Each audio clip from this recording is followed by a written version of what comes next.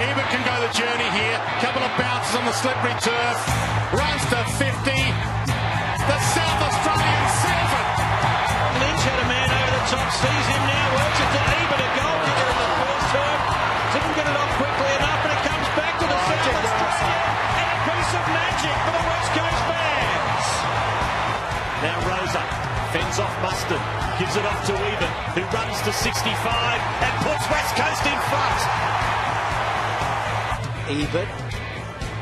Jackson against the flow. Well done, Ebert. Crashing through and going.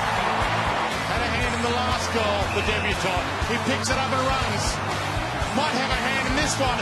Ebert. This becomes a big moment for him. And he's equal to it.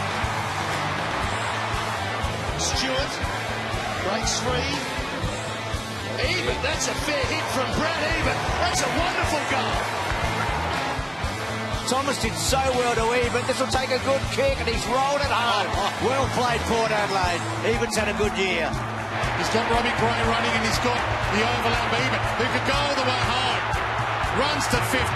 Drives a drop punt long. Oh, that pumps up the volume big time at AAMI. Awesome tackle by Ebert on Dwyer. Plays onto advantage. Squeeze it inside 50 to Schulz.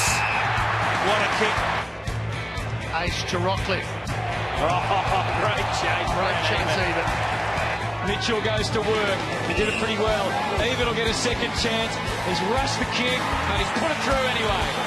Yeah. Unfortunately, White couldn't get through. Now he can. Gives it over to Ebert. Can straighten up. He knows this ground.